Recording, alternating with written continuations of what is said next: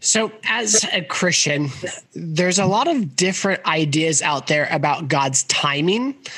You know, there's this idea you don't want to get in front of God, and essentially,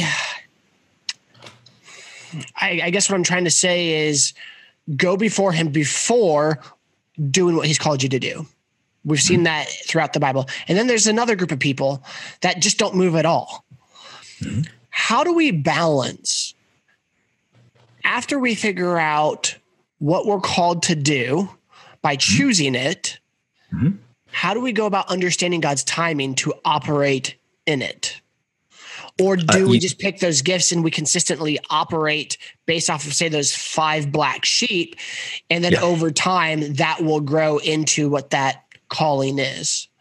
So, what I'm, the first thing I'm going to tell you is that God's timing is God's timing, period. And there's nothing that you can do that will affect it.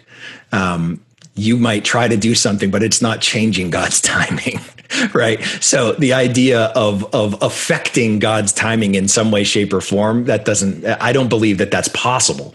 And so the idea is, rather than worry about God's timing, why don't you worry about honoring the gifts that He gave you? honoring those things that matter most. And that the way in which you honor it will change every single day.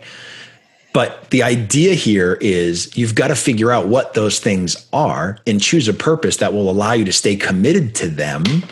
And then when those two things are there, how you honor them changes every single day. Every day becomes mission right it becomes part of your mission and i don't care if that's at the grocery store or if that's at a you know third world village somewhere with no running water it doesn't change you honoring those gifts that god gave you and so for me that's really what it's about You've got to discover these things. You've got to choose that purpose that leans on those things because when you do that, that's how you stay committed to what you want to achieve. If you are trying to stay committed on things that are not non negotiable, you will find a thousand different excuses to take you in a different direction.